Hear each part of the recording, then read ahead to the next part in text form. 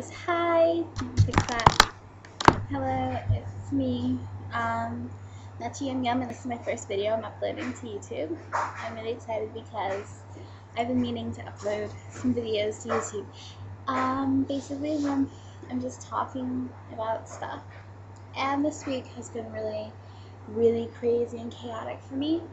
And I'm like out now, but I, I thought, like, I said to myself last week, this Friday, I was gonna upload my first video and I am.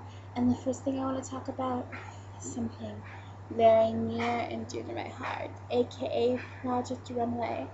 Finally, last night was the season premiere of season six, and we've been waiting for season six for like ever because the whole fight with like Lifetime is gonna be on Lifetime, it's gonna be on Bravo. It's on Lifetime, and they it's still as fabulous as it was before. It really, truly is. There's like nothing bad about it, and there's nothing good about it. The only thing I didn't like is the fact that the red carpet challenge was the first challenge off the bat, but you know, that's like instead of doing them something crazy, let's see what they can actually do when they have to make a red carpet dress, which as a designer, or something like that can make or break you if we're being totally serious. But before the season premiere came on, there was the All Star Challenge, in which Kato, I was rooting for her because I thought she should have run her actual season of Project Runway because I think she's just a brilliant designer, and everything she makes is stuff that personally I would really want to buy, and like I really think she's never seen anything ugly down the runway. Even when they had that grocery store challenge,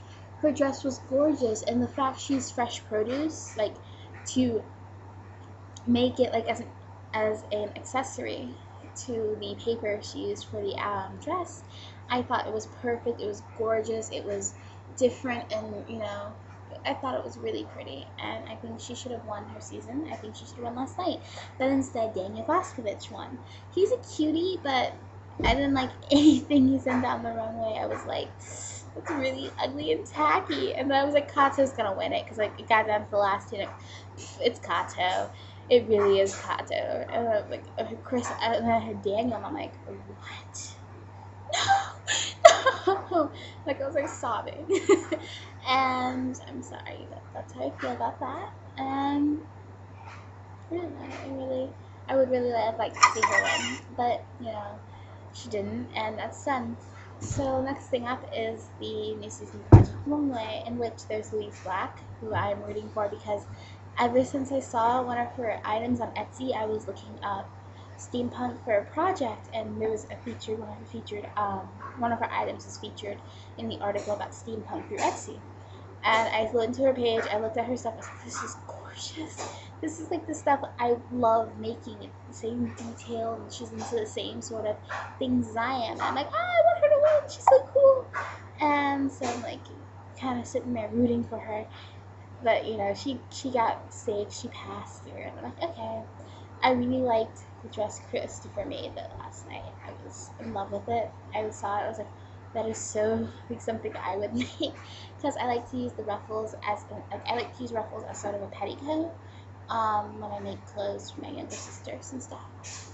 And when I make just when I design, because I'm always sketching. Like I said, I sketch all the time. I sketch, sketch, and I love using ruffles, and I love how like the top is like very textured and different looking, and then the ruffles underneath it. And like, that would be perfect for the VMAs. If I was a cute, skinny little singer going to the VMAs, I would still wear that, but I'm not. And you don't want to hear me sing, and I'm not. Yeah, so I was really excited about that. I, I wish that Qristyl wouldn't have made her dress so tacky because she has the potential to be fabs. I've seen her portfolio that's available online at mylifetime.com. There's so many stuff, so much stuff at Project Runway there that you can check out. So I went and I saw that and I was like, oh, she's really cute. I like until she makes bigger lady clothes, but I'm like, oh, I'm all for that. So I liked it. I watched the show. Really excited about that. Um, I just wish she wasn't. She used more taste. I would have liked to see Ari stay instead of seeing. Um, I think it was Mitchell who survived because he had the pantyhose incident with his model, and it's like you need to allow seam. Like you need to make sure you have the space in the dress. My thing is this: go bigger. No matter what you're doing, if you're making something, you it. I know I've done dresses I've made and I put on my friends or I've made dresses for younger sisters. And my rule is I always have extra. I always make it too big. I make it so I know it's too big. And that when I have it on the person, I can actually fit it more into what it should be, just for future reference. If anyone is out there and they like to do photo shoot, like if they're thinking about dressing up their friends doing photo shoots, you know, make sure when you make it, you make it bigger, just in case. Um, for that one reason. And you know, I, I would have liked to see him go home because I was reading, I was watching his audition tape, and he's colorblind, and therefore he doesn't like to use colors in his um, designs. And it's like that really, I like color. I think color is fab. You can't because I'm wearing black right now, but I really like colors. And um, I don't know. I think using all neutrals is kind of boring. Um, now that my Project Runway stuff is out of the way, I'm now going to move on to something very near and dear to my heart. I love the band Cinema Bizarre. I think they are fabulous. They are five very awesome boys from Germany who make music and they're glam rock, pop, punk, happy-go-lucky dancing, dance music fun band. And I think they're fabulous. And there's been a lot of drama regarding certain things about their new album, and I would like to, you know, there's a leak of the album, which is really sad and everything, but it's done. The news, the CD's been released. The leak happened like 48 hours before the CD was released. The CD's not out. It's released. I'm still listening to the samples. Like I want my copy. my copy will not come in for another week or so because I ordered it from Germany, and I can't wait. I really want to listen to it. When I get a copy of it, I'm totally gonna review it. Um, what I can talk about as far as music goes in reviewing is the band Tokio Hotel, who's another group of pretty German boys. I love you. I love Gustav the most though, so he's like not the prettiest one, but he's definitely my favorite. Um, they released. I don't know if it was last week or this week, but they have their new song that came out, and there's a German version and an English version, and I've been listening to it. I'm you know, because I like I I kind of fell out of listening to Tokio Hotel as much as I used to because I've been listening to them since they first came out in Germany. So it's like I fell out of listening to them. I picked up this song and it's automatic is the English. Um, I don't. It's automatic, and I believe it's pronounced automatic. Automatisch. I'm not 100% sure, and my German is terrible. Um, so I'm gonna say I'm not sure about 100% yet, but um, I like I really like the song. I think it's a good song, but it doesn't sound like the Tokio Hotel I'm used to. It's like it's gone less rock and more like this electronic mixture. And it's it's a really good song. I'm like super dancing. It's like I like it. It's a really good song. It's just it's not what I'm used to. But I still I'm thinking that um, how people are comparing Cinema Bizarre to Tokio Hotel.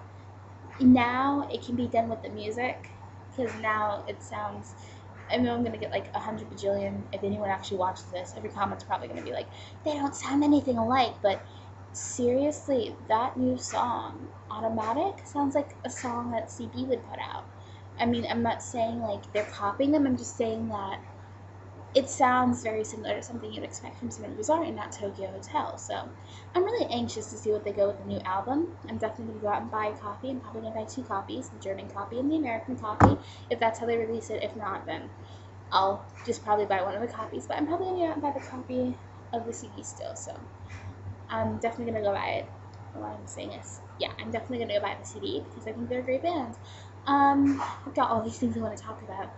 Um, other than that, I basically have nothing else to say. I'm probably going to update this every week. If you like what I say, say something in my comments. If you don't like what I say, say something in my comments. Just, if you're watching it, I would like a comment. Just because I want to know what people think I should continue this. This, um, I'm being encouraged to do this by some friends who are like, oh, you need to go do like these YouTube videos because you're all these are so opinionated when it comes to music and when it comes to all these different things and stuff. And so you should go ahead and say something. And I'm like, okay, sure. And so last week I decided this week on Friday was my first update. And I will hopefully have more updates in the next few weeks. And um, yeah, so thank you. Bye. Um, this, yeah, so bye bye.